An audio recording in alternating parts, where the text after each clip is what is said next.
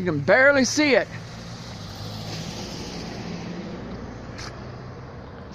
Look at the New Albany Plaza. You can barely see it. Check it out. You can barely see Target. Barely see Target. Barely see it. Again, this is the dense fog on State Street in New Albany, Indiana. This is around almost 8:30 in the morning. You can't see nothing.